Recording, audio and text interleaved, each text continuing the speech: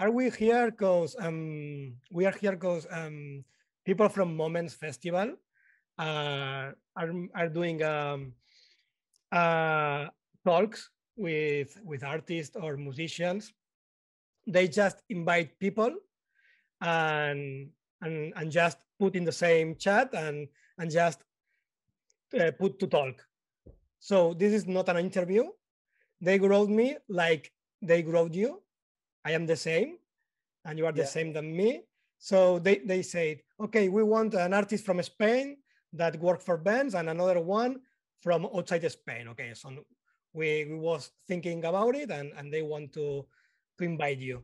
So this is not an interview, but of course it's the first time we meet or we see. So it's hard to to start talking about everything, no? So uh, I I just make a a little brief with some guidelines. So I will ask something and we can start talking, okay? About everything. I have some ideas. I don't know if you you know my my work or you know me. Uh, Yeah, yeah, I'm familiar with- with your work. I've seen it, seen it uh, pop up several times over the years, and uh, taken a little look at it as well now to sort of refresh myself. But yeah, a lot of it is is familiar to me. I know there is a lot of people in Instagram and there is a lot of people now working for bands. So that's good. Because I remember when I start, I started 20 years ago, but when I start uh, living of music work, um, here in Spain, there is an people working for that. There is only four or five guys that, that making art for bands.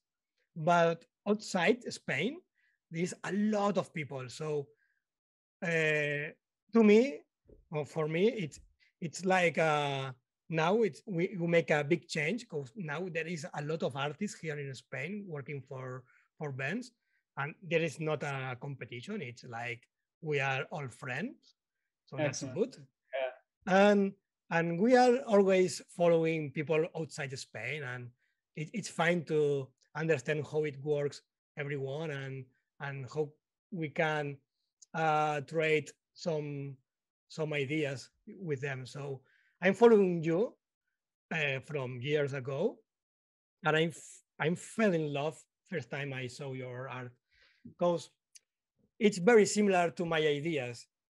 Okay, it's it's it's like forest, uh, nature, uh, animals, but we'll Mm. talk about it. But now I, I want to introduce you.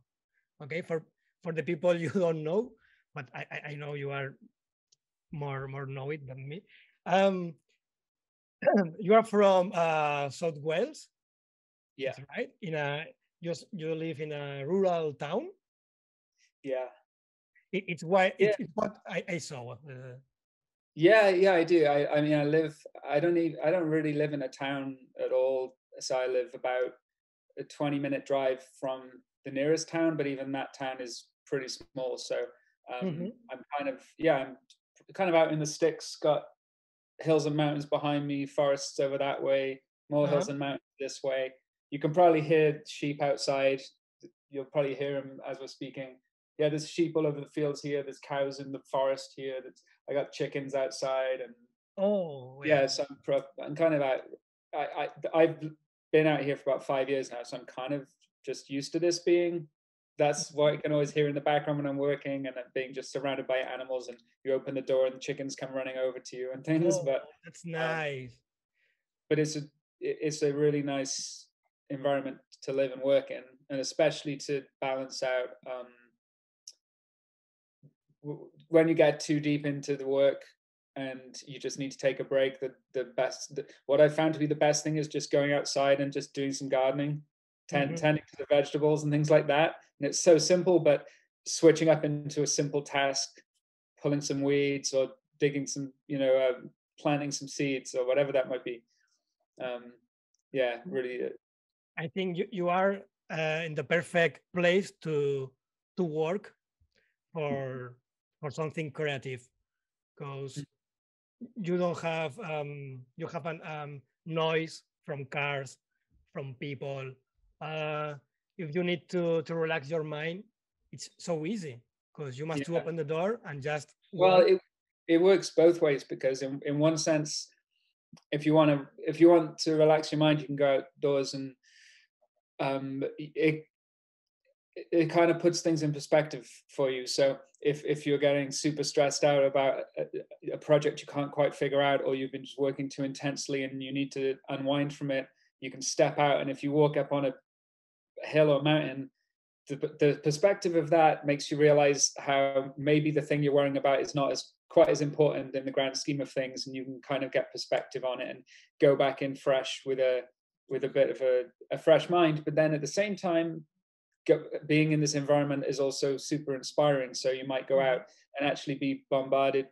Even even though people think the countryside is so peaceful there's so much going on all the time you know and just of different animal noises and bird songs and just animals coming and going and things yeah. from a tiny microscopic level to a huge huge level. Yeah, so um so it's kind of impossible.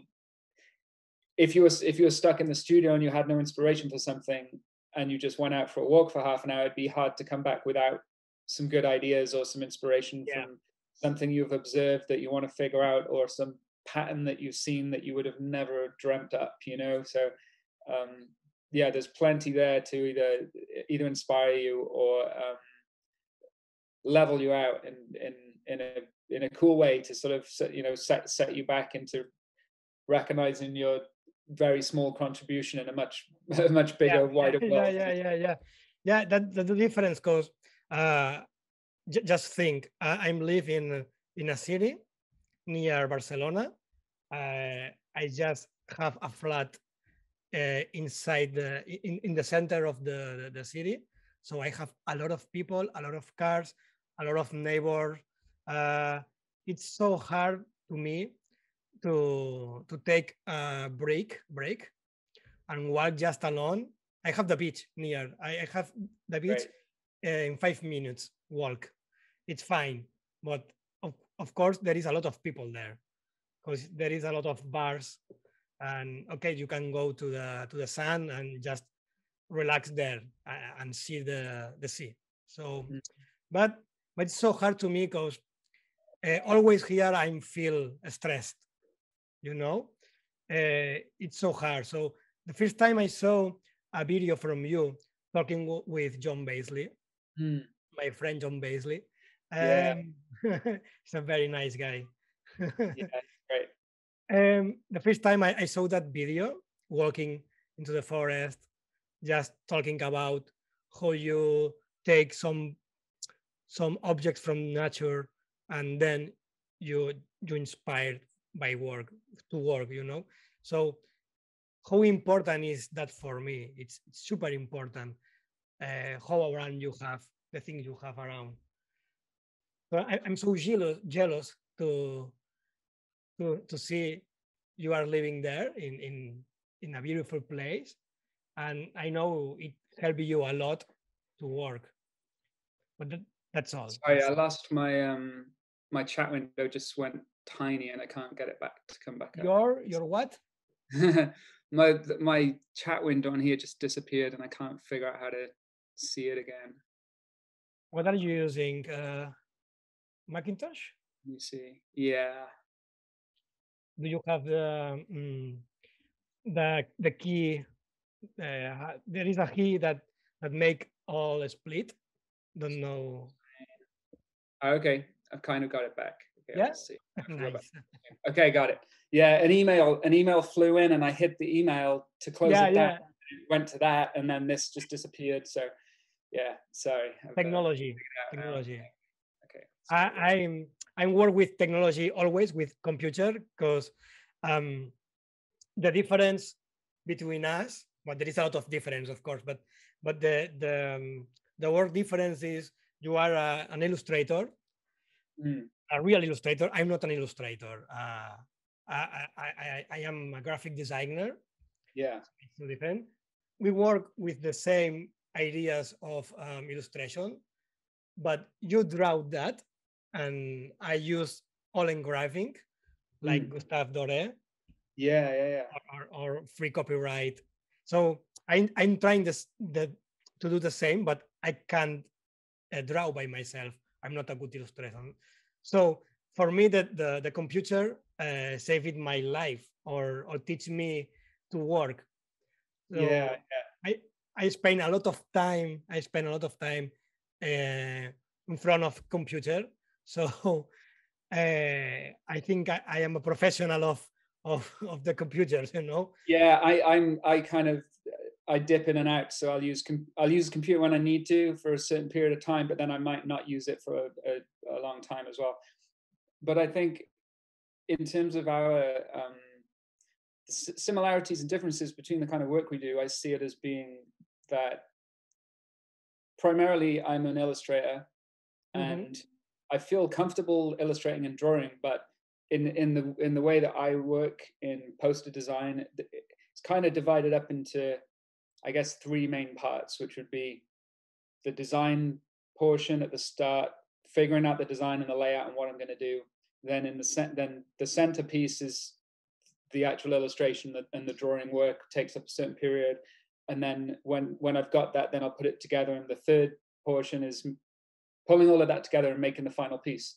Mm-hmm. So for me, I feel very comfortable um, I feel very comfortable. The illustration bit in the middle is the kind of is the bit I feel most confident and comfortable with, but it's the design part is the really hard part for me. You know, that's like that's the the biggest challenge of all. Like not not the drawing so much, but just the designing. Whereas you're yeah. coming from yours is kind of flipped around. So you're saying, you know, that the you you don't uh, feel com- comfortable being able to do the illustration part, but you do you can do the design part. You know, so mm-hmm. it's like yeah, we're coming from kind of opposite places there. Yeah. But, but but you are you are so good um, uh, working with a computer because I saw, uh, for example, uh, your col- the colors you use, the palette mm-hmm. colors used. It's super um, recognizable. Like it's mm. always in English. Recon- recognize it because yeah, when I saw a poster from you or an artwork from you, I recognize you not only for the illustration, uh, just for colors. I, I, I know it's it's a piece of you because you have. Yeah, a, that's, that's really interesting. Yeah, yeah, I would have never thought of that being a recognizable thing for my my work because I've always really struggled with colors. Like I think it's a really the, a lot of the work I used to do. The, I the the colors were very desaturated, and I would never really commit to using very bright, bold colors. And I wanted to, but they're really really hard to use. I think, and and trying to it people people often or I, I might come into a project thinking I want to make a really bold, bright, psychedelic colored poster. But if you throw in all the colors, if you throw in a lot of colors, it just ends up absolute chaos and it, it's, it's never going to look good. It's never going to really um, have balance and focus to it.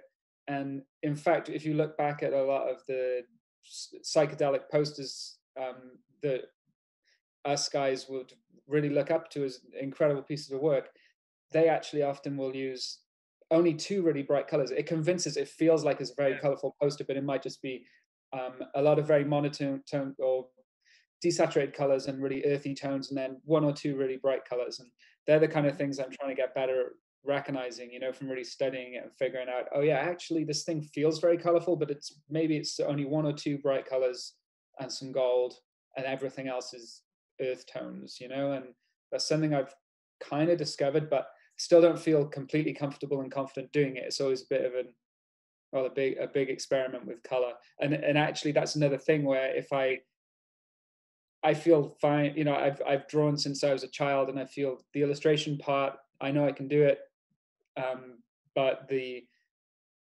the bigger challenge for me is is the colors for sure. Like if if I can pull off a if I can make a poster and I'm really happy with the color balance in it, or or if I've dared to make it a lot brighter, make the colors a lot more saturated, and manage to find a good palette, that's like that's something I'm I'd be a lot more pleased with, you know, than illustrating anything.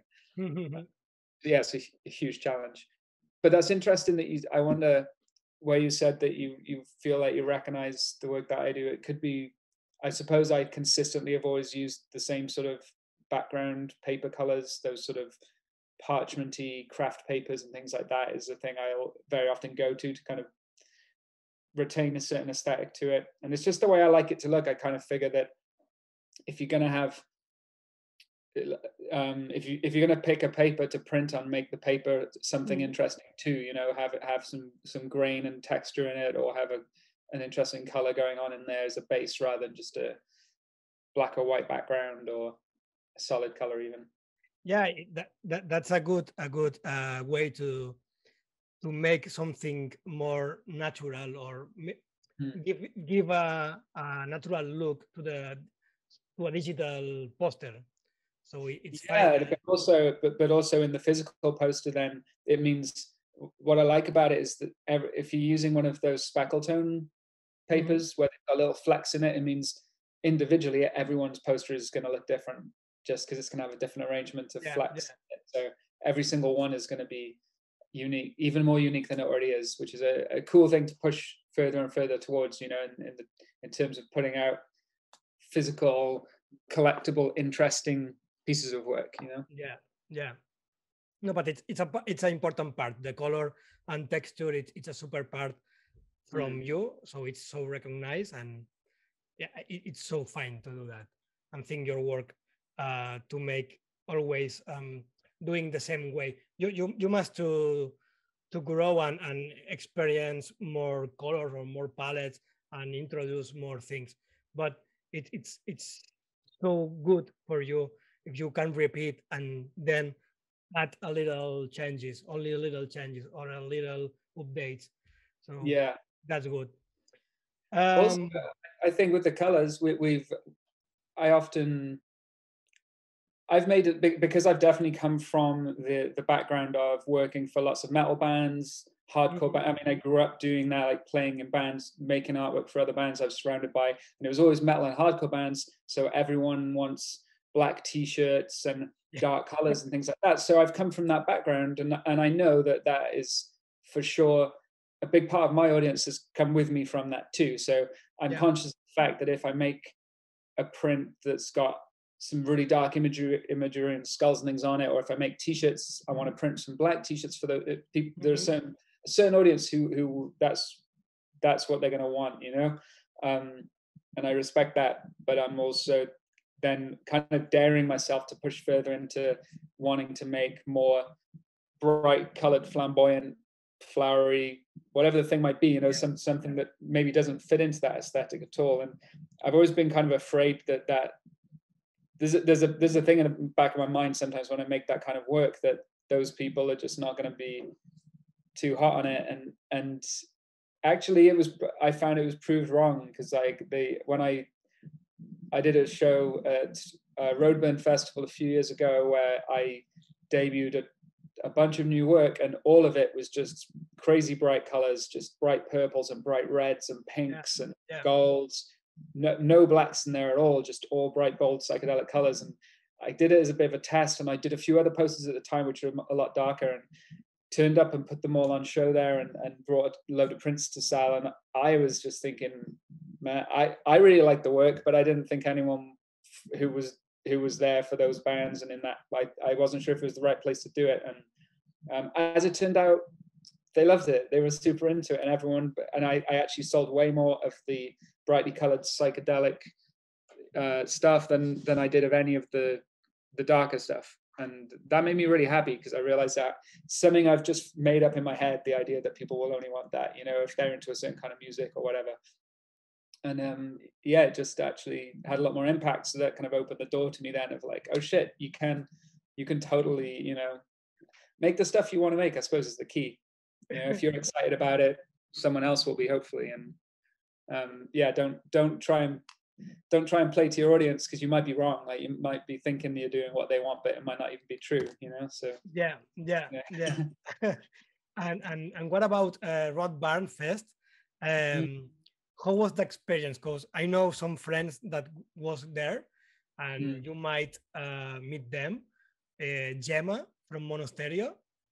Oh yeah, she's amazing. So, you know, yeah, I love her. She we we did um she was so cool because I showed up and I had one uh, a print I'd done for um, for the band J Jail, yeah, um, which my friend Evan's um, musical project, and and uh, I had I'd made the artwork, and the idea was that we were going to show up and we were going to make um, do some live printing at the show Mhm. within the art show. So uh, Gemma came, and I hadn't met Gemma before then, and we showed up, and I and I brought that piece to sort of uh, volunteer for that, and it was so cool because any idea that I had, I was I said to her, wouldn't it be cool if we just instead of just mixing some colors and making one print, Mhm. we'll make um, we'll start out with this color, and then as we're printing, we just keep adding different colors in across all all the way along. So the color that we're printing is constantly changing.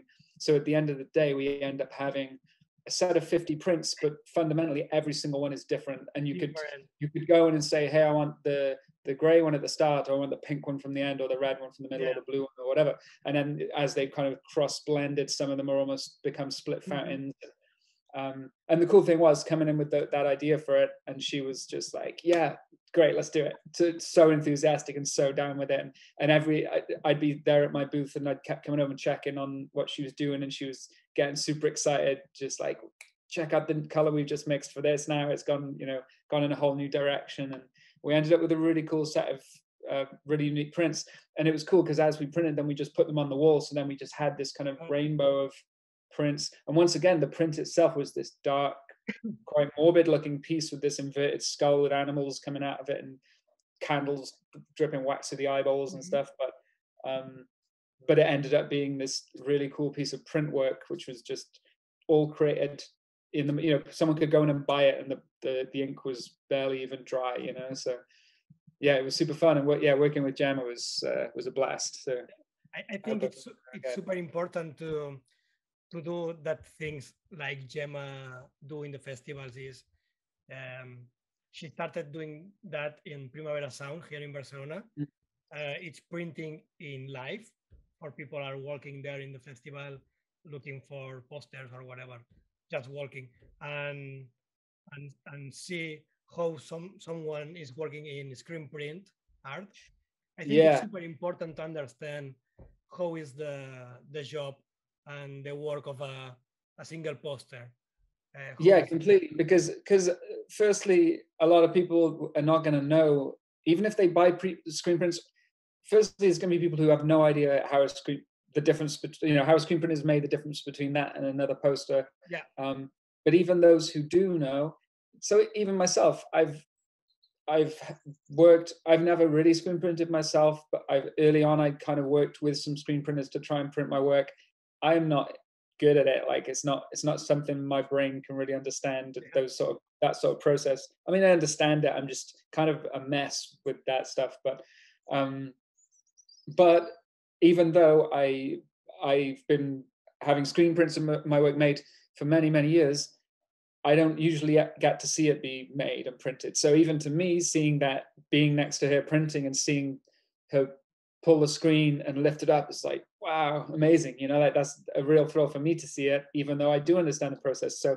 if someone's showing up there and walking past at uh, Roadburn or primavera who's maybe has some screen printed posters at home but has never really thought about how they're actually made and then seeing the process is so yeah it's so so cool i love it people understand it's it's it's not a simple way to to, Mm. to put to push a button and and then print. It's it's yeah different way. So, but I'm happy. I, I love screen print. I, I never screen printed, just Mm. once time uh, t-shirts, but I, I never printed by myself my posters, and I think it's it's it's it's good if you are a designer or illustrator and and make posters or or another art. If if you print that art, I think that piece it's more beautiful, you know, because it's done by just for just by you, by yourself. yeah yeah. So I think it's super beautiful. But, uh, it's amazing yeah the physicality of it as well the fact that how, how you know everything down to how how much pressure you put on pulling Yeah. ink through is going to change the exact print because it's going to flood out a little bit more or a little bit less Yeah, so many factors I, I, uh, need, it I will really need a lot of time to do that. To le- to learn to print nice, to sell that that copies, and I Yeah. need, I need a lot of time. So for me, it's impossible. I prefer to to send my art to Gemma, and she's yeah yeah, yeah. poster. So yeah there's a, for me i'm i I, th- I thought for a while about screen printing but like i said i'm not good at that I just just working in that sort of three dimensional capacity. I I, I um I kind of struggle with it, but I I realized very quickly it makes way more sense for me to pay people to work with people who are really good at it, who've really dedicated themselves to it, who really understand the language, who just want to make great screen prints, and then I can work on on my part and just say, okay, I'll do my part as well as I can. You do your part as well as you can, and we'll uh, come up with something really cool together. And I've always liked the idea of working closely. Any screen printers I've worked with, I, I've I never really want to just. It's not like I just send them the print files and be like, okay, cool see send them to me and I'll see those you know I'll see the prints in a few weeks time I like to have a, a, dialogue and a discourse with them so I can actually maybe they can inform me of some ideas and give me some mm-hmm. ideas how they we can make it better than what I would have imagined. Yeah, and, yeah, and, that's uh, important. Try some weird stuff with it maybe, and just push push those boundaries a little bit further. Um, I'm in a in an interesting place with it now because I've for years I've um, I've worked with the, the way I will set up a screen print will be I make the uh, I draw I draw the pen and ink piece, which is going to be the key line layer, but then the, the the colors underneath are very quite simply blocked out really and as as almost always flat colors. And I'll only limit them to maybe four or five colors. And and usually I, I usually like to put a gold in there too just to add another kind of dimension to it. But um I've always had a little bit of a frustration with it because I want to be able to kind of paint those colors in myself rather than just digitally block them in. And I have some sort of uh, physical aspect to that and I've never quite figured out how to do it. And um, mm-hmm. the, I have experimented in the past with kind of printing out the the key line and then putting tracing paper over it and tracing sections out and saying okay these are going to be the parts. But that's kind of like a, a labored version of doing the same it's kind of the same thing really as if I just did it on Photoshop. So there's not really that much point in that but but in I just did a new piece, um, a Jimi Hendrix poster that I put out last week, and mm-hmm. with that one, I've done a completely different method where I've actually hand colored all of the colors in it, and um, I we still the the poster hasn't been printed yet, and I've got to figure out the best way that we're going to achieve printing that poster. And there are many many ways we could do it. Because at the moment all of the colors are many many screens that i've painted by hand as using inks and watercolor paper and then scanning them in and comping them all together so um, yeah. that's feels like i've just just stepped into a new territory of of a new method of working but also it's going to be a it's a really interesting challenge and how do we how do we screen print that you know because it's got yeah. uh, tons of different colors going on in it tons of different shades and tones and layers and things like that and so it's quite exciting. Yeah, it's a new, uh, a new challenge and a new method, fundamentally. Yeah, yeah, I understand. Uh, I I just want to to show that poster from Jimi Hendrix, and mm. I'm trying to do it. Just give me a second, because I will I will try to to share my my screen during this conversation, because I Great. have something to to show to the people. So we are so beauty and it's good to see us for the people but i think maybe if we can uh, make some inputs from from instagram or or, or whatever uh, cool. maybe it will be better than my face you know? I look pretty pretty but i'm for i'm 40 how are you? How old am i? Yeah. 42 42 okay yeah. You're older than me. Born in 79. Which I'm, I'm always very happy to say I was born in the 70s because sounds cool. But um sounds super cool. Pretty I, old. I, I must to say I, I'm from the 80s. I prefer the 70s. Yeah. I prefer the, the 70s. Mm. But that's fine. I'm from the 81. I am fine. Um that's a stupid question. You know, it, it is must a conversation and I I, I want to I want to share my okay let's do it because es que I, I I bought a new computer weeks ago, and I think this is the first or second time I'm using Zoom right. in this computer. So I must to to um, um to let uh, that computer uh, permissions to to open. Oh yeah, yeah. Oh, it's yeah. fucking shit. It's up. It's Apple. You know. Fuck them. So I must to check this. Uh-huh, uh-huh. So. Ah, I can do it. Okay, I can do it because I am. This is open. Okay. Fuck. Okay. Doesn't matter. Don't worry. Um. So if everyone wants to to see this this poster from Jimi Hendrix, uh, can go to to your Instagram and they will see. There's a lot of colors here. How many colors Yeah. You, you say it? I, well, I don't, this is the thing. I don't know yet how we're going to print In it. screen print, in screen print. there's there's a few ways we could do it because I've so what I did was I drew the key line and then Yeah. I I'm gonna share some of this on my Instagram over the next couple of weeks because it's like a it's a really different method. Um, Mhm. Actually, I can probably show you right here if I can remember where I've put them. Oh, there it is. I can do it. I can do it. I can do it, man. I can do it. I'm sorry, but I can do it. Yeah. Great. Okay. I, I hope this is recording. 'cause I don't know. Okay. That's fine. That's fine. yeah, that should be. So yeah, you can see there's a ton of colors going on in there, and um, and some golds as well. But so the key line, I can show. I'll show you the. Uh, Okay. So if I, so this is the this is the key line Okay. illustration. So that's all drawn as one piece, and then I also drew all of the. I've got piles of drawings of like the, all of the text behind him. I drew it over and over so many times that I, I kind of sat down at the. Um, I sat down at the computer and started looking through different fonts and typefaces and manipulating them and playing with them and. Um, my partner Johanna came down into the studio and looked at what I was doing, and she's she's just had a moment and said to me, like, because I was I was kind of frustrated with it, wasn't really figuring out what to do, and she said, "Why don't you just sit at your desk and just start drawing the text?" You know, because all, it- of course, so many of old you look at old Victor Moscoso posters.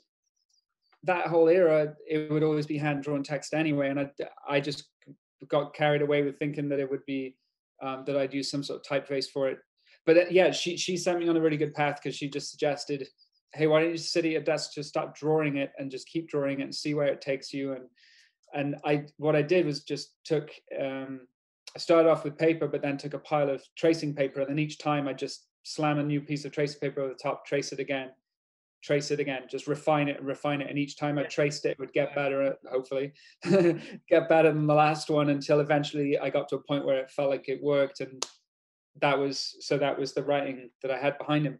So I went from having this this Mhm. key line and then I printed I printed the key line and then painted um, colors. So I printed a really, really faint version of the key line so I could just about see see it, and then I painted it many times for all the different all the different sections. Wow. Um, so I did loads of them, and they're like all like slightly. So they're all different different areas of the of the painting, and then Mhm. this one's just like an undercoat version of it. So it's just like really Wow. faint. Too many layers. Too many layers. Yeah. so so i painted so yeah so ultimately all the colors are painted and then i scanned in every single one of those lined them all up together slammed them all into one image i mean they're all separate layers but they're all there are so many different colors in there so which is kind of cool because it's almost like i've got like this is this you know this is the screen print is all of these things together Yeah. Yeah. Um, and I, uh, that fine it kind of it f- finally made me really happy because I think for years I've been trying to figure out how can I make how can it all be illustrated. I want to be making doing the line work and doing the colors and painting the colors by hand and seeing that happen, not just being like bang hit hit a color and it'll you know Computer. Yeah. Easy. but now it needs the thing is now um we got to figure out how to screen print it so Mhm. uh, there's many ways you could do it. We could we could take each layer, refine the color to be one, so that each I don't know, break it up into single colors or do a sort of CMYK. But this isn't, it's not for me to figure out. It's whoever's screen printing can figure it out. But, um, but yeah, th- that it's, it's exciting for me because if I, if we can figure out a good way to screen print that and I can then continue to work in that method, it feels, it feels a lot more authentic and real to me. And it feels like something I've been trying to figure out for years, you know, how, I might be able to just kind of yeah, color them. Yeah of course but but it's it's a very long process since you start the um, the idea of that poster uh, Mm. to to the finish because it's um you must to think about the composition start uh, drawing then inking and then try every layer every color. So it, it's It super really- long.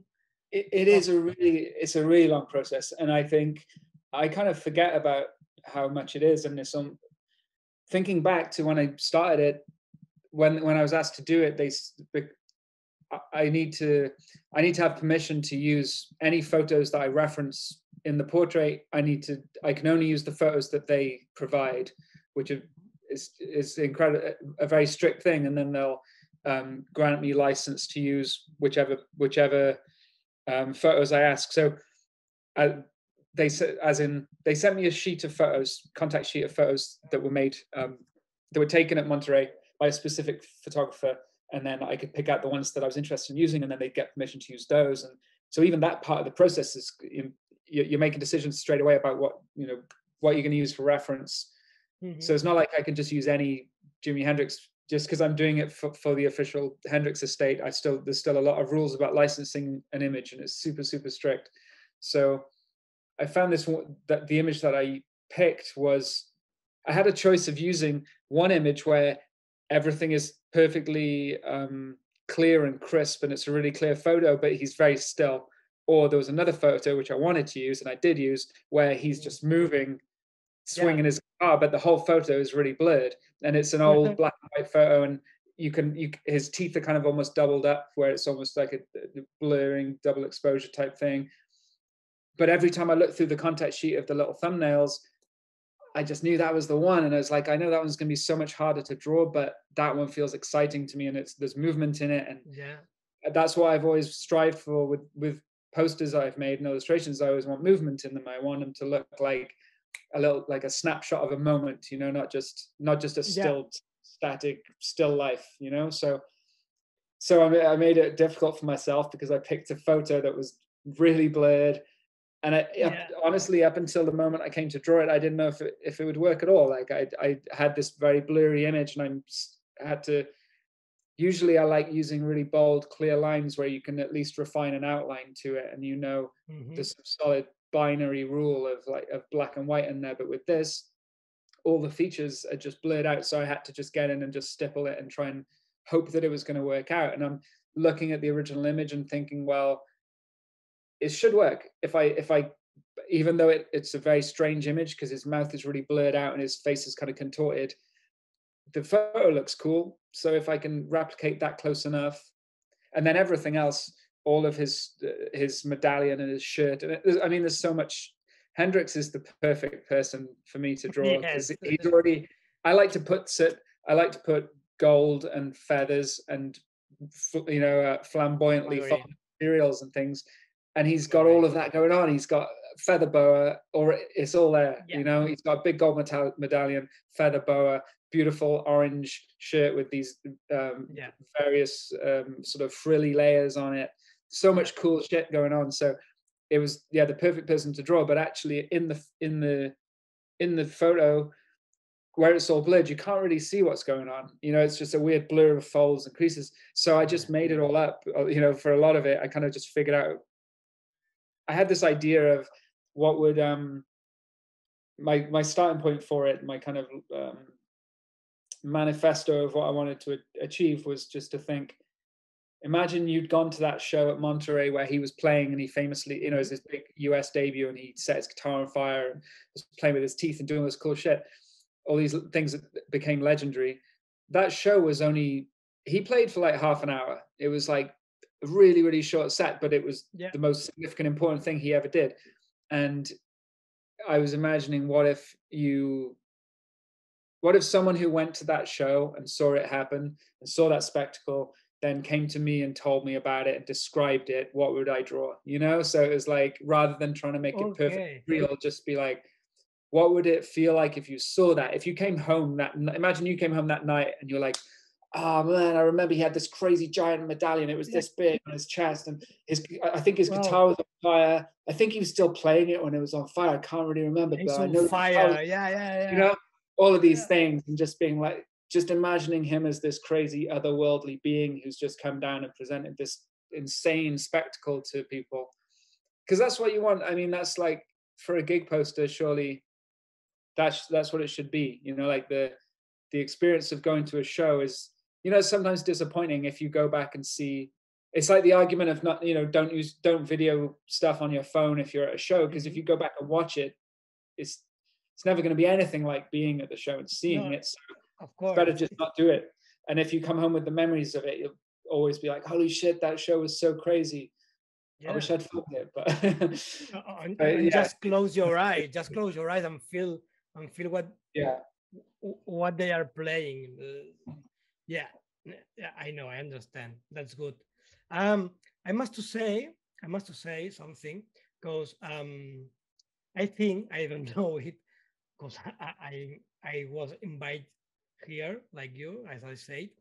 Uh, I Mm. think these um, talks uh, made uh, cause the mm, the pandemic, you know, the the, the, the COVID and and that, Mm. that, that shit. And and Moments Festival wants to to put the first question is um who was uh last year for for artists like you or me Yeah, or, yeah. or bands or whatever or whatever we you you told us by email but i think we must to to talk a little bit uh, about last year because was yeah yeah. super bad for music industry i think. Mm. so how, how, how did you live uh, last I- year? honestly i didn't find it so bad because i think for a few for a few reasons that um i mean it definitely changed it changed my plans a lot because i originally a year ago or before before the lockdown began i was actually planning to do a big tour um with with johanna my partner. She was about to do we were going to go on tour together. She was living in la and i was living over here. And i was going to leave uh, leave my house for good and just is now when I think about it, it sounds crazy, but I was going to leave my house, leave my studio.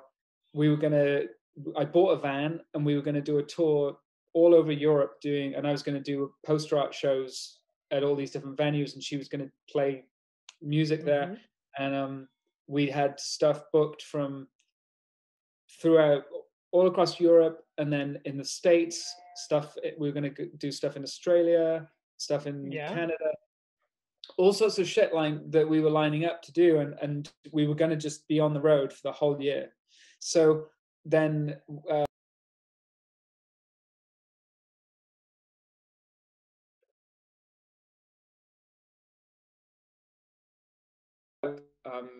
I managed to hang on, keep keep my house, and stay here, and kind of what as soon as I real as soon as I realized, okay, you're not going to be do, doing the thing you thought you were going to be doing. You're not going to be touring, and you're going to be back here. I sort of reworked my whole studio setup because I I'd gone into a place where I had I was doing all shipping of artwork from here and fulfillment for for print work, and that was just like that was one thing I wanted to get away from. I, and I realized if I'm going to be here, I just want it to be a, an art studio, just a functioning space where I can just make artwork. And so, it, yeah, it kind of lit a fire in me to just reinvent the way I was working here. So I overhauled the whole studio, outsourced all of the shipping to other people, set up, put some stuff in place then to start doing things like I, I started doing the uh, t-shirts and apparel with Death Wish, I saw, yeah. which I hadn't done before and hadn't thought about doing, and thought, okay, let's just really overnight just came up with a whole different scheme of like I'm going to have other people sh- selling my work. In the past, I was always very much wanted to keep all under one roof and just be like any any work that I sell comes from here, and I pack it myself, ship it myself.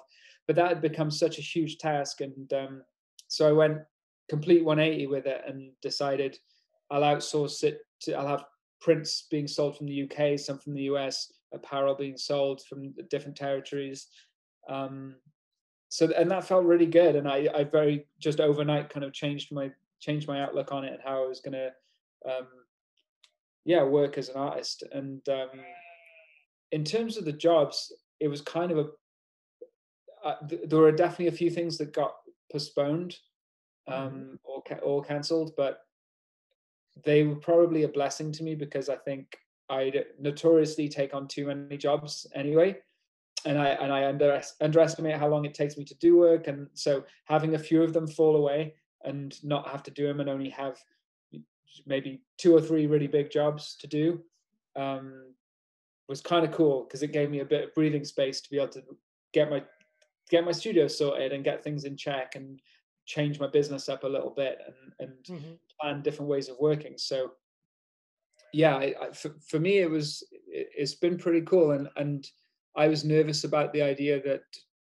at this point then I'd be relying on selling t-shirts and selling apparel yeah. and things like that rather than the jobs but but really I've always relied on the print because because I take so long like my the, the kind of work I make is so time consuming I can't really rely on the commission fee to pay my bills like i don't really think about that even being my income it's very much about print sales and merch sales things like that so um, yeah. all of that was still in place and when i and and i i was a bit nervous about putting new prints out and putting new t-shirts and things out but they actually sold pretty well because i wasn't sure if people would i know everyone money was tight for everyone and maybe people wouldn't be treating themselves to those things but the other side of that was a lot of people were sitting at home thinking, hey, what am I go? You know, I'm not going a lot of people sitting at home and they're not going out spending money drinking and partying and whatever other things they spend the money on. So maybe they were sitting at home thinking, hey, I'll treat myself to a sweet t-shirt well, or print well, for my wall. I, I, I, was drinking a lot in my small apartment. Yeah. in the uh, the first days of the lockdown yeah i i said okay i'm living alone i i living i was living in a very small flat only uh, 20 meters of mm. flat so super small flat because i yeah. was i was changed I, I was moved from barcelona to to this town and and now i'm living in another place but another flat but when when just the lockdown started i was living in a 20 meters only flat mm fuck for me was a fucking chaos in my mind because it's very small place. Um, all stop it. I I can't I can't go to outside. I so I only have windows. It was super hard to me. So I I was drinking almost every day for the first month. Oh man, we drank so much wine the first. Yeah, yeah no, no. I, I only wa- I only drank, drank drink uh, wine at times yeah i just yeah. bought some a lot of bottles and okay now today monday today okay let, let, let's work with wine of course every yeah. day. i'm drinking wine right now i mean i do drink wine i do drink a lot of wine but I'm I, drinking, I, I, I'm drinking beer i i drink i do i do drink when i uh, when i work a lot of the time but it's usually like a, a pace of doing certain kind of work in the day and then it, especially if it's if i'm drawing like into the evening yeah. get a nice vibe going on get some good music going or or a podcast or something but mm-hmm. or put some records on but burn some incense you know have some beer. And i yeah i always like to drink, drink beer or wine when i'm working as long as it's not too much and i get a bit wobbly and you know. No no of course. Gotta, gotta keep that in check but um I, I, sometimes I, will kind of stay up really late and and just be working away on something and then early hours of the morning finally go to bed and then the next day you wake up and you're like shit what did i make? What did i draw? You know? You woke up and, and look at it and maybe sometimes horrified but hopefully you not. woke up you woke up and say oh i love my job. Yeah yeah. Or no um, I, I really enjoy when when when i can when i can work drinking wine or mm. or a good beer, good craft beer, not um, during all the day because I yeah. work I'm doing like an office um, uh, or office time. How is in English? The office Mm. time. Yeah, yeah, yeah.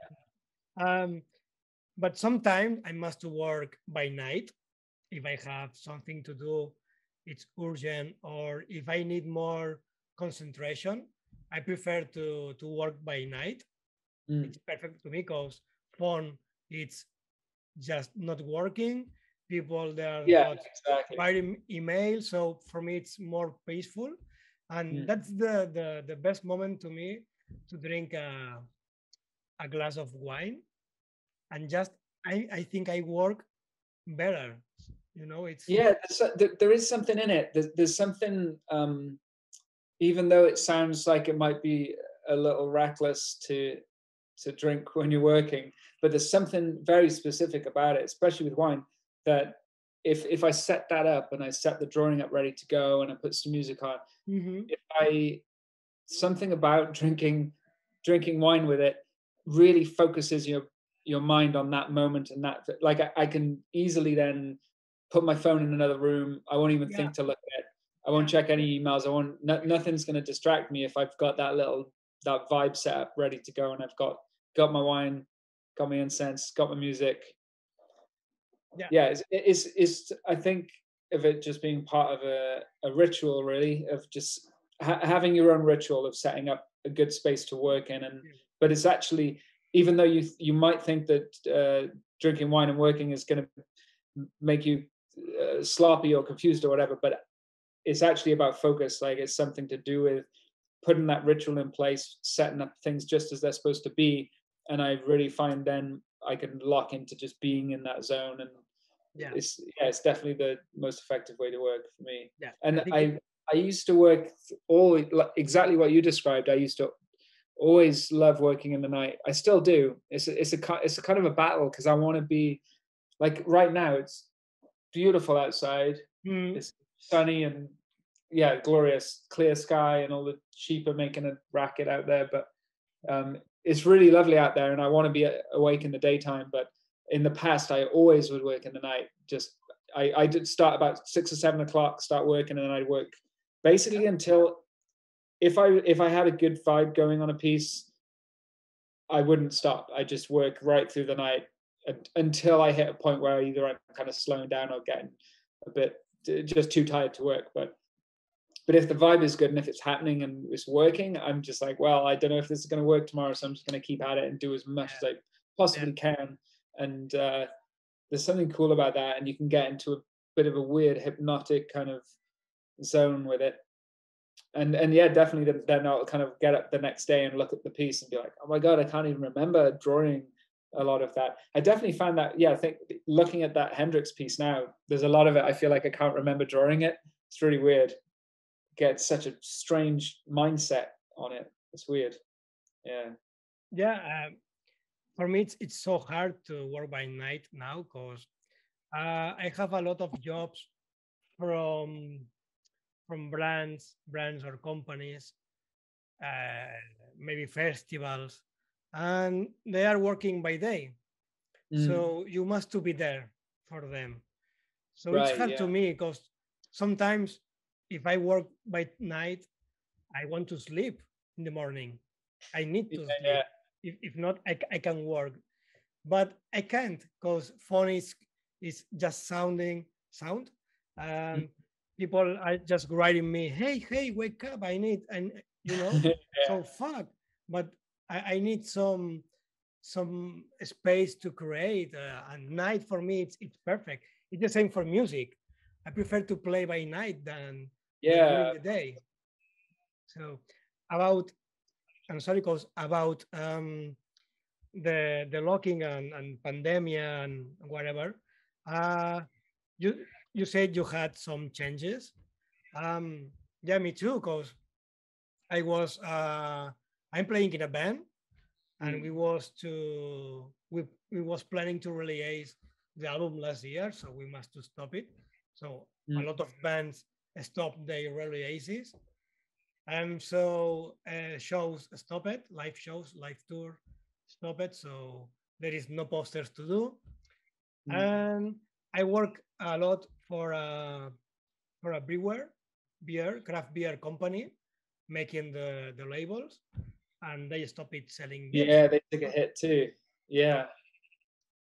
and and, and Yeah, I guess I was lucky. I guess I was lucky that I was working on uh, like a gig that happened in 1969 or when was it 67 69 um Mhm. yeah like working on not not working on shows that were happening this year. But yeah that's the thing. If you're working on that definitely did happen. There were a few gig posters that got postponed because they were not happening but hopefully will happen at some point.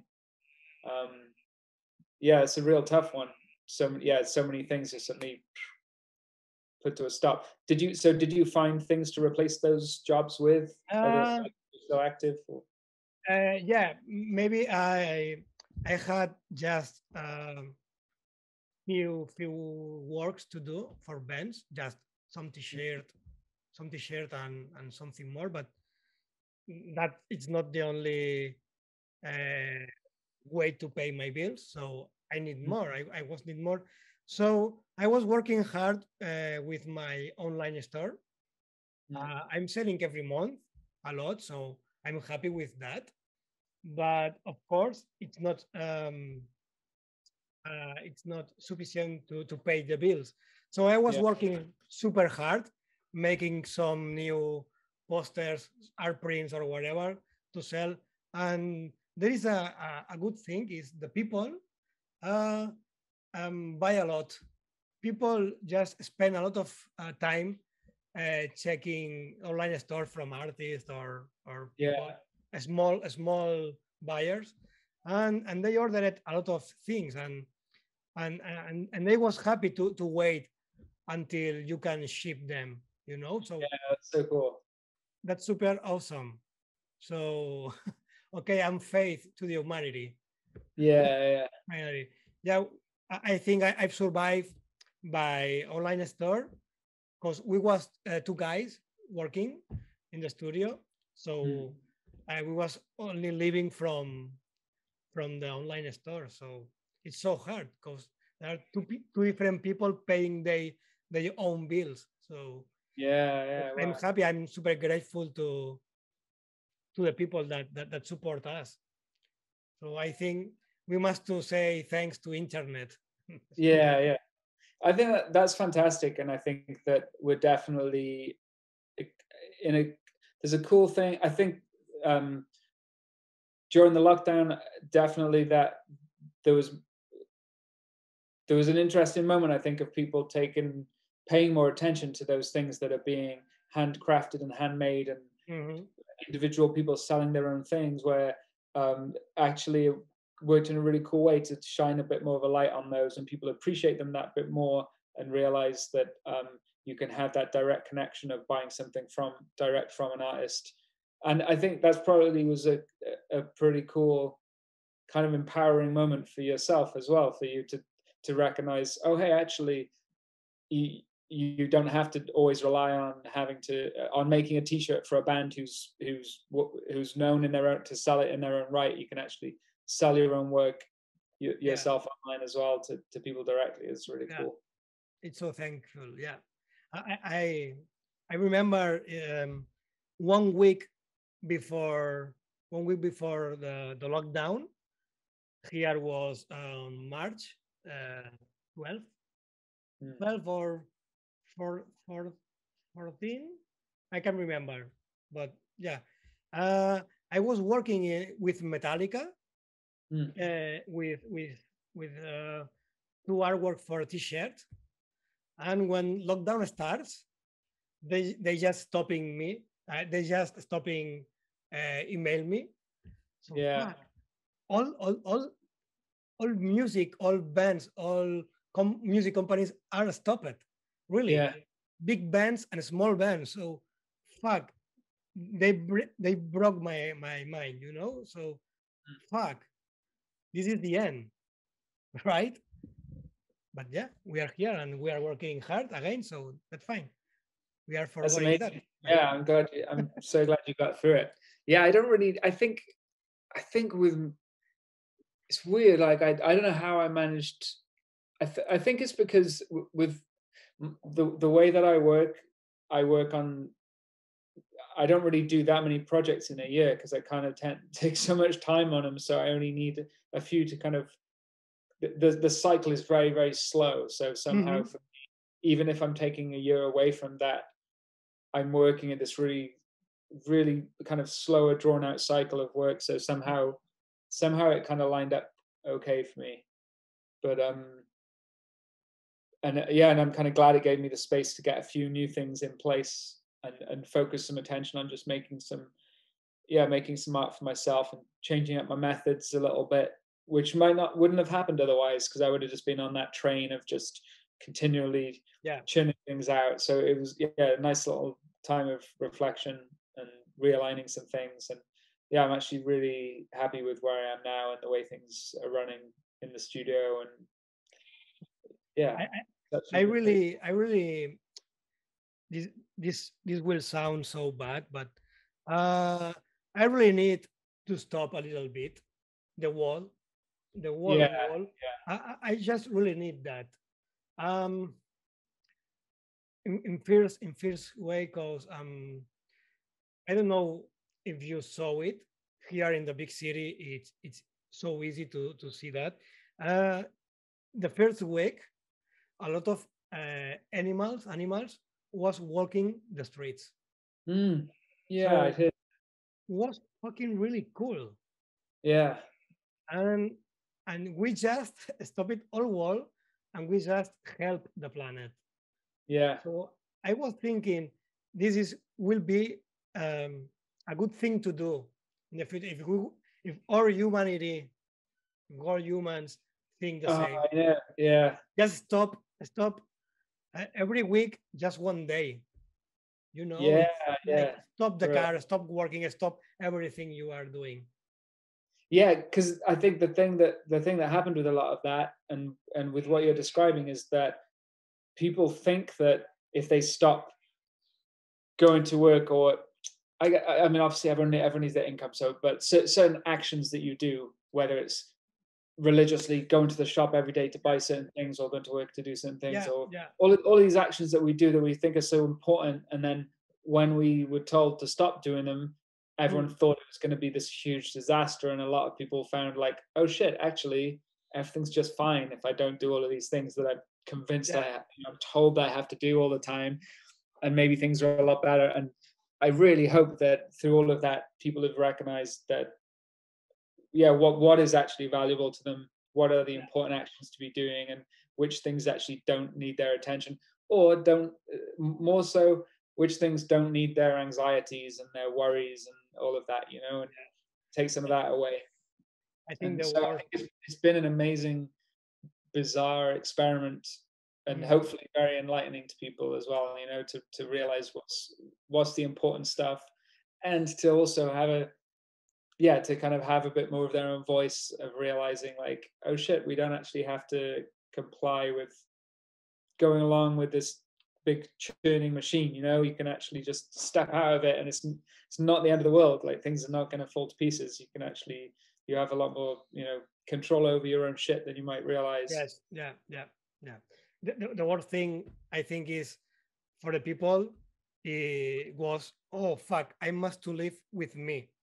I must to understand who I am or yeah. who I yeah, have near me uh, in the sofa or or living on my bed. You know, it's yeah now it's the time to to know to now understand you yourself yeah the guy in front of you.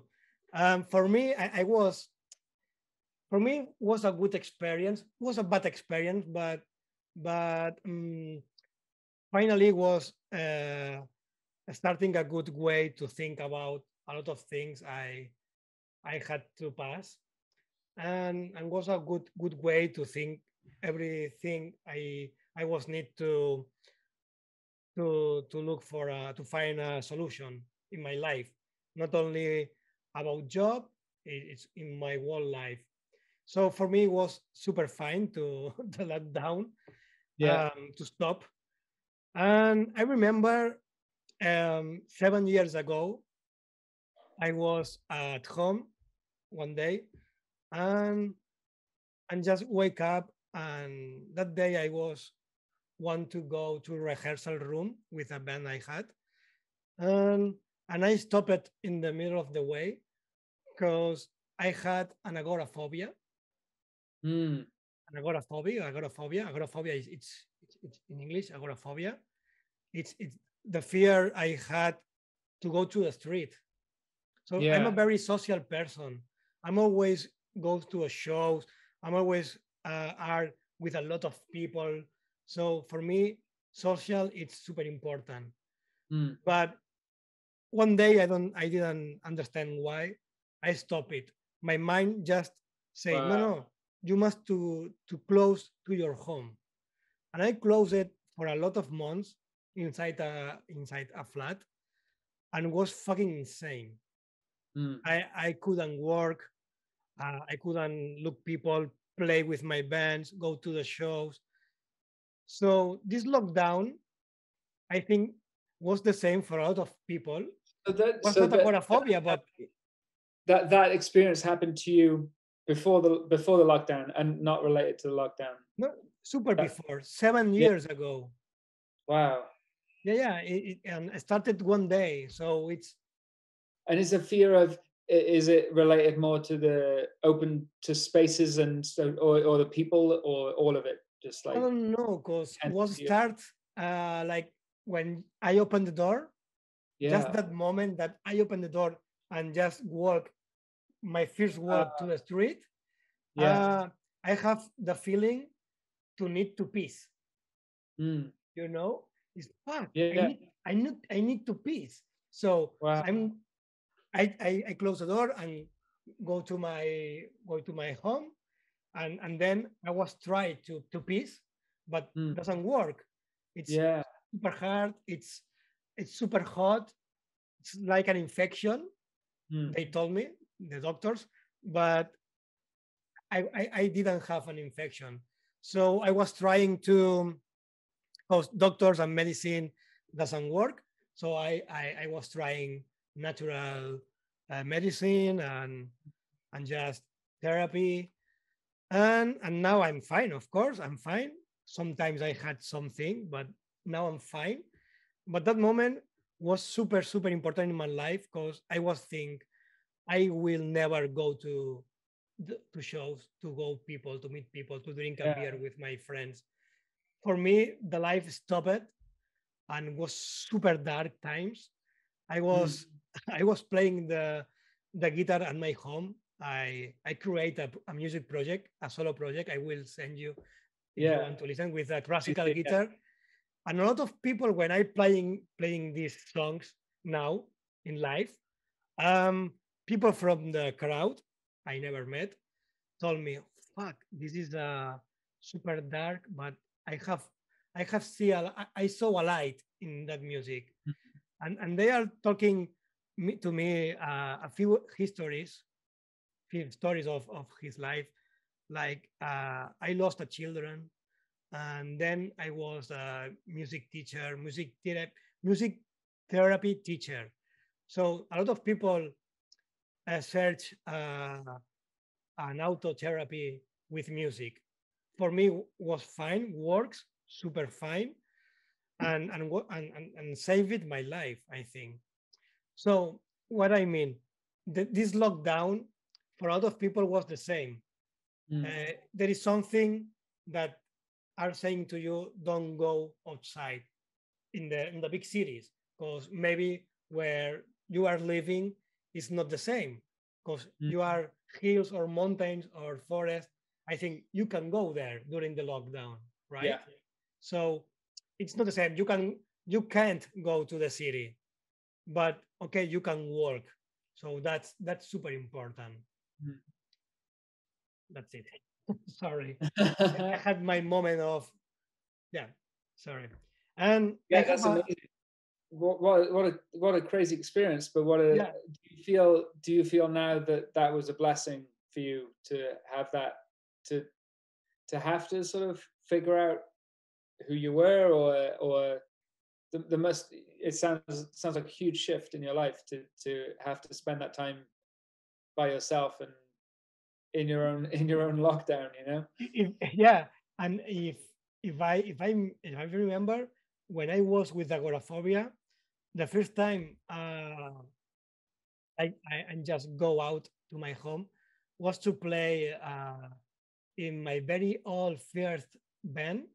Mm. We we had a reunion show because singer dies, and we we want we wanted to do um, a, a, small festival with all his bands, a lot of mm. bands, and and just the drummer and me was play the songs, and I was fucking uh, tired at my home, but I say I must to play it.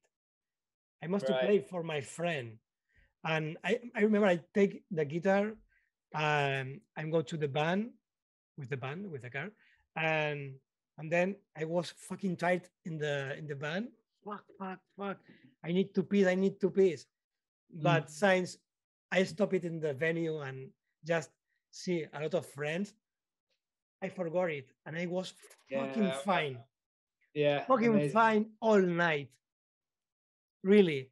So after that, one month after, uh, I was touring with my another band, I we, we had a European tour, and I said, okay, I will go.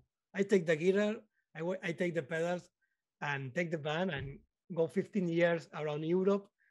Okay, take me, and was fucking every I was uh, fucking fine. So that's that's how I I'm cured. I'm cured. Cured? Don't know. I'm fine after that. So Amazing. Music saved me. Yeah. Yeah. Wow. What was the? Ask, sorry. What was the um? What was the name of the band that you toured around Europe with, or you played in many bands? When when the band I I create during the agoraphy, the agoraphobia, or or the band I was touring. Uh, the one that you toured with that got you out of it afterwards. So, uh, uh, so the the band I was on tour for first time after the agoraphobia. Yeah, yeah, yeah. I, I was playing in Syberia, Syberia, like like mm-hmm. Russian um, country. Yeah, Syberia was an instrumental band. They are play. They are still playing. Yeah, yeah, and, and yeah, we we guys just go to to Belgium or Germany. I can remember, but was insane. Was insane. Amazing. Yeah. Uh, yeah. Now I'm playing in a band. It's it's a doom instrumental doom sludge band. I, I will give you. I think I have. Yeah, I'd love to. I'd love to hear. well, I will give you. I, I will send you uh, by email. Um, I have maybe the last question because we have a good a good chat. One year talking. I think it's it's okay. But I have a last question during about um, lockdown. I think you you start a project in Instagram in Instagram uh, about exploding a school. Oh yeah. You start yeah, draw. Yeah. You start drawing on a school, and then you said if everyone wants to to take that and just finish. Yeah, that it's been crazy that whole thing because I, I the original. I'll tell you the the original reason I ever mm-hmm. made that skull. Well, actually, if I trace it right back, so the, the, the reason I first made it was because um, I was working on a, a Grateful Dead poster, okay. and I drew that Grateful Dead logo, which I'd always loved my whole life. I always thought it was cool, even when I didn't know what it was. You know, I pr- probably saw it as a kid and was like, I don't know what that is, but that's a fucking cool logo, you know. And then years later, got to work on a Grateful Dead poster, so I was like, cool, I get to draw this logo. So I mm-hmm. drew kind of my own version of, of it. The skull was kind of my own weird I guess a little bit more realistic than what you'd see on the original logo. And I drew that on the poster, and that is a real small little gold version of it, the foot of the poster. And um, after that, I I couldn't get out of my head. Like I wanted to redraw it and try some different things with it. So I drawn it, drawn it a few times, and I started doing. Um, uh, I did it. I did a series of them, but I'd keep the skull the same. And the reason for it was because when I would go to um, do uh, poster conventions like MondoCon was the big one I do every year in Austin, and a few others. Um, often people come up to your uh, your booth when you're working, they ask Mhm. you to they- they'll ask for a, a drawing in their sketchbooks, and because of the way I draw it, I I don't really I never know what to do because I'm like, well, I'm going to draw something, but it's going to take me so long that if for it to look like my drawing, it's going to take me a certain amount of time, and I don't really want to draw something real shit for you, and I, I want it to be good. I stole a so I stole this idea from um, a friend of mine. This do you know the artist Daniel Danger? Uh, no. incredible artist who he draws a lot of um he's he's known he's made all sorts of like gig posters movie posters and and, uh, and poster art for years but um he, he's known for he draws a lot of kind of collapsing dilapidated old american buildings the- so these old houses that are all falling to pieces. That's kind of like his mostly well-known thing. And he gave me this little trick where he said when he's in that same position at an art show and a kid comes up and says oh can you can you draw in my sketchbook? He has a rubber stamp which has half of a building on it and he'll stamp it and then he'll finish Oh, it so each one is different but so everyone gets an original illustration it's like slightly different but based but and they're totally happy with it they can they know the process they've seen it happen but for him he only has to draw for two minutes to finish this piece Yeah. Yeah. everyone's happy so because i felt like i kept telling people i wouldn't draw in their sketchbooks and they'd be upset and whatever so so I said to he told me this and I was like, Can I steal this idea from you? And he was like, Yeah, of, course. Mhm. So what I did was I made a rubber stamp with the skull on it. So then if someone came for a sketch, I would stamp the skull in their book and then finish the skull and just draw Okay. something up and it would be Nice. a super quick thing, but it would look like a fully realized illustration. Mhm. Uh, You know, it would look decent enough anyway. They'd be happy with it. So Wow. so it came from that. So after I'd done the conventions, I came home and I had this rubber stamp still, and I started just making different versions of them. So I'd stamp it and then Mhm. just make a little miniature version. Um, so it kind of stemmed from there, just having this uh, this starting point where you would have never drawn the thing otherwise, but because you've got half of it is kind of done for you, it just pushes you into to making something you wouldn't have imagined making before. And um, I, I wanted, I think, because I could see during the early early days of lockdown, there were a lot of people just stuck at home, just with all of this uh, pent up energy that they wanted to use, and I could just see this opportunity there for tr- trying to think, okay, how can I throw something out into the world that's going to maybe inspire some people to make some artwork and make it collaborative, and and that one was just the most super obvious way to do it. So yeah, so I basically just put that same image of half the skull, just put it as like a PDF on the Dropbox or whatever online, so anyone could just go and just download it, posted up a really simple bit of text, just saying, you know, this is for like anyone at all can do it. That you don't have to be an artist, you don't have to be Everyone. a professional artist or anything. You can just any ability, whatever you want to do. And the cool thing was that, firstly, I had I had an amazing response from it. Like so much work was created, and um, but stuff that I would have never dreamt of. Like someone people were making um, embroidered tapestries and yeah, uh, cutting things out of paper and and um, making cakes and cookies and um, sugar art and then and sculptures and animations and um, just so many different styles of working that I would have art. It's art. taken it. a lot of different. many of of type of art, you know. So why illustration only? No, no. of- Yeah. What what funny do you wanna do? Okay, embroidered, embroidered. yeah, and that, that was cool seeing people Yeah. taking it beyond just being a pen and ink illustration into completely different realms of um, different mediums, different ways of making art. But then, and some of them were animated videos. Uh, someone made a song, you know, like all sorts of all sorts of things. But uh, the the coolest part really was that a lot of people who posted up the artwork would write about it, and a lot of them said that they maybe hadn't drawn for years. You know, like they they'd always liked drawing, but they didn't have a reason to draw. You know, so um, or or they can. A lot of people just don't. They need that little push, you know, to get them into it. And this was what that was for them, eh, for a lot of people. So I, I just saw this consistently. Uh, the same kind of story come up where someone would say, "I've always really loved drawing, but this just gave me a reason to do it." And it was, and and then the skull part of it doesn't matter anymore. It's just that they're drawing this new thing they wouldn't have made and coming up some cool stuff, which is it, it kind of opens them up to, um, Mhm. you know, just use their imagination and make something that's really honest and real. And because half of it's already done, they're kind of like, hey, whatever I draw now, it's going to still feel like a completed piece.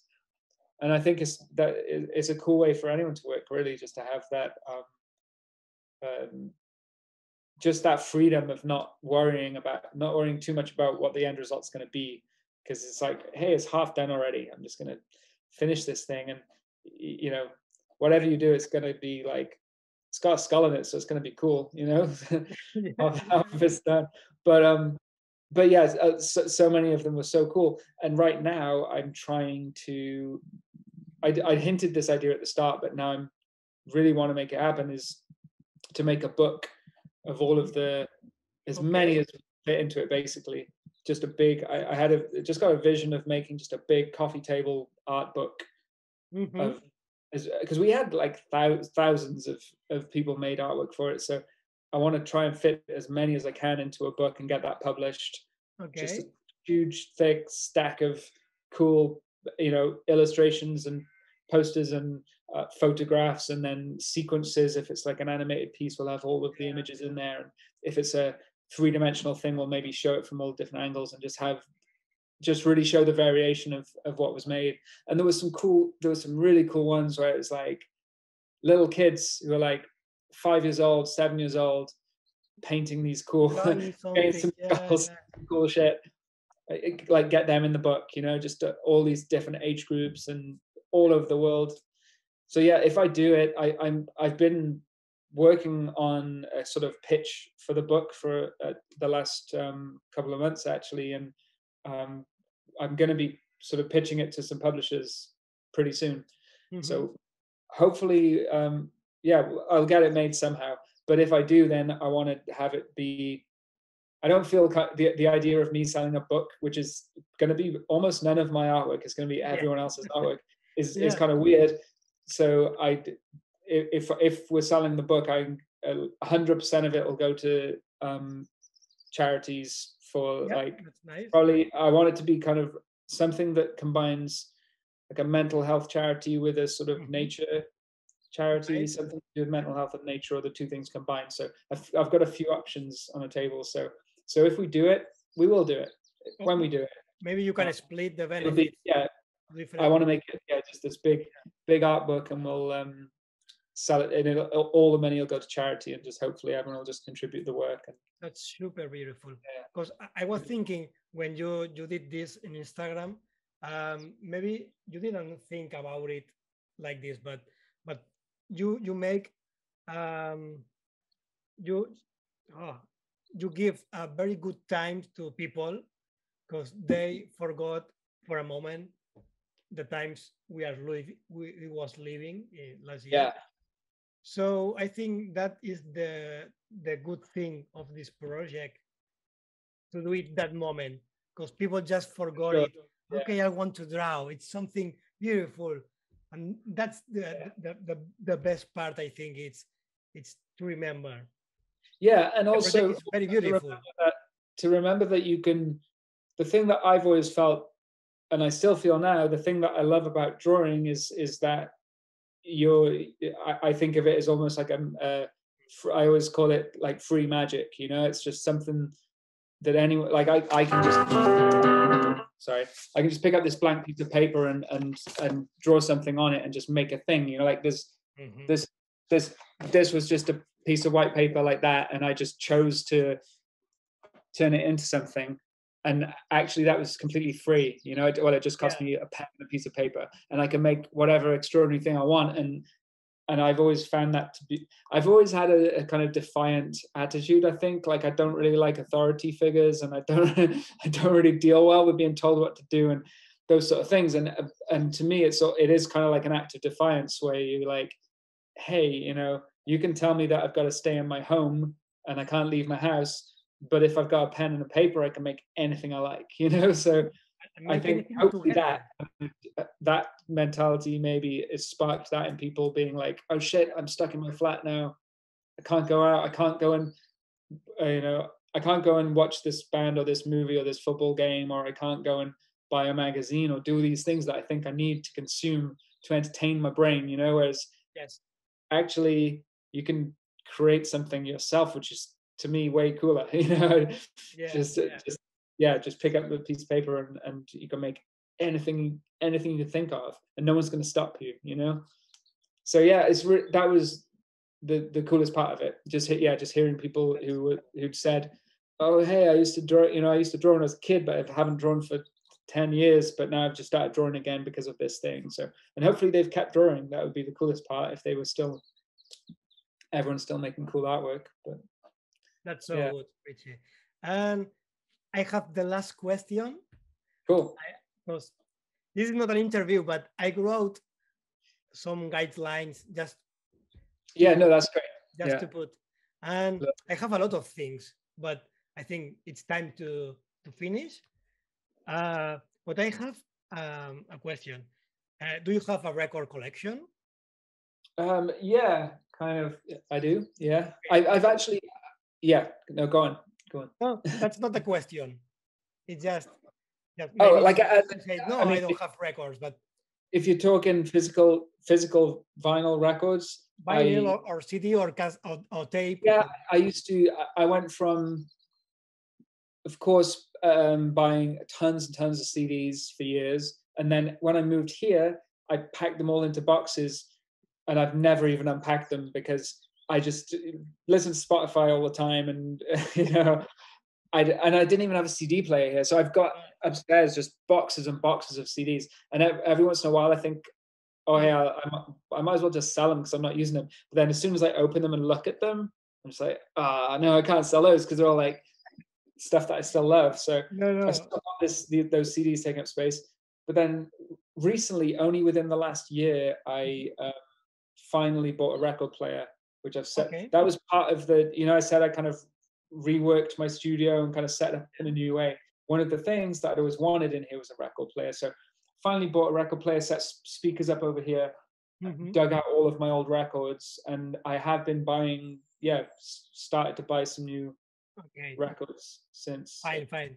The the question I want to know uh, is if you remember the first record you listen or you get or or the first record you felt in love. I mean, maybe it's the rec- not the first record Mhm. you you you bought buy or bought. Yeah. bought. Uh, maybe the first record you had, you have, you had the first record you had. If Um, you remember. That's really hard. I think I remember what what was my first record. And maybe it's too different. I, do you know what? I think the reason I find it I I find it hard to remember because when I was a kid, I would always copy tapes all the time. So I'd I'd, I'd borrow a record, copy them, and then I'd always make my own covers for them. yeah, yeah, yeah, me too. Me too. I, I have I have my tapes here. yeah. So it's hard. I can't remember. I can't really remember the transition from going from that to owning real the real ones. You know, they were. Yeah, yeah. I probably was, was just copying them for a long, long time. I probably was couldn't afford them to buy real ones and would just yeah just borrow tapes from people and then meticulously draw covers for them or cut things out and and I re- I love doing that too. I really enjoyed that process of It's making. your, it's your job now. Yeah, right, exactly. Yeah, and I love that. I took a lot of pride in it actually making making them. But wh- when I was, I don't. Yeah, I don't. I don't really remember. It might come to me. I don't really remember what the first records or tapes. I remember was my were- first tape was uh, my birthday, my eight eight birthday, I think eight eight or, or nine. Uh, my dad uh, gave me a, a a a tape recorder and tape player, and I said, "Oh, but I need I need a tape to put inside." Yeah. he, he told me, here is your gift. And he told me a, a tape I lost from Rick Astley. Ah, yes. Well, I just as just just as you were about to say that, I remembered. I can tell you, I do remember. I think what my first tape was. As as you described as you described that, I started. Really, really. I started. It, suddenly, this memory came into my mind. Because i because I, um, i'm from 80s. I'm from 80s. So yeah, yeah, yeah. I but remember. here's the thing.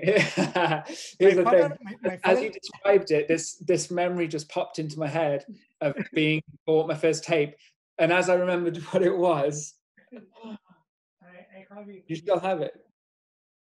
Uh,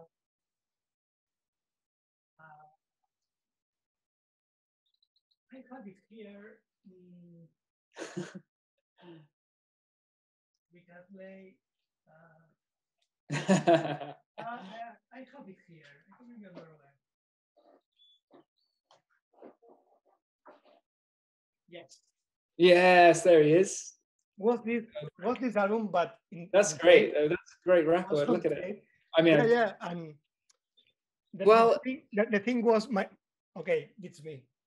Uh, was- my well, I thought, as as you said, as you said, um, as you started describing that thing of being like, uh, well, eight years old, did you say, and being yeah, and eight, eight or nine, yeah. and having that record, I a, a memory popped into my mind, and I remembered what the tape was, a, a cassette tape that I was bought, and I then had the realization of how terrible it is, and that I was imagining as you were telling your story, I thought you were then going to say like, and the record was Slayer, Reign in Blood, or some cool thing, you know, and but you didn't, so I can now tell my story. My, But so mine was, I I remember asked, and I asked for this as well. It was um, MC Hammer, oh, and it was the, but it wasn't even his first. Uh, it wasn't even his first album. That Please Hammer Don't Hurt Him. It was his second album, okay. uh, which was uh, Too Legit to Quit, which had the Addams Family song that he Yeah. made on it. But I was all about it, and I was like, "What do you want for Christmas, MC Hammer?" And but my nan, my grandmother bought it for me. yeah. I think she was even in hospital. It was like a, she was in hospital at the time, and she and she wouldn't have known what it was, but she'd asked my parents, "What can I buy for Richard?" Well, they wouldn't have called me Richey; they would have called me Richard. What can I buy for Richard? And they must have told her like, "This he wants this MC Hammer tape." And I remember going to the hospital and then her giving me my Christmas present, and I was stoked. I was so happy. But Yeah. yeah, I, and I don't think I still have it. it. Maybe it's somewhere at my parents' house in an attic somewhere, but I don't think I have the MC Hammer tape. super, super different bands, you know. But Yeah. I, I, just w- want to ask. It's it's it's simple. It's it's fine. Because I remember my father when when give me the tape. I was to the shop to record st- shop, and I asked for for something for for my son, and Right, no what you way. have. and and I felt in love. I felt in love Yeah. with that tape. Okay, I, I was seven or eight years. That that was fine for me. Rick Astley, wow, awesome. You know, That's great. And my first rock band was Aerosmith. So, Yeah, yeah. But that's the thing. But Rick Astley, those yeah, those those pop sounds are like to to a kid seven or eight years old. Those sounds are delicious. You know, they're perfect. Yeah, yeah. And then you then you start. I, I definitely easy, do that. super easy to win. loved that that era, that specific era of pop music in the eighties.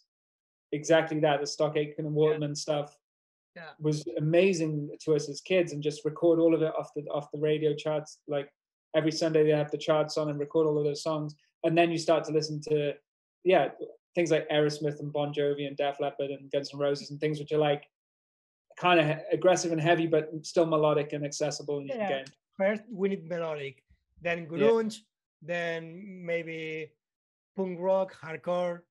You know, Yeah. I, I grew up with that, and then you must to to listen black metal, heavy metal, uh, death metal.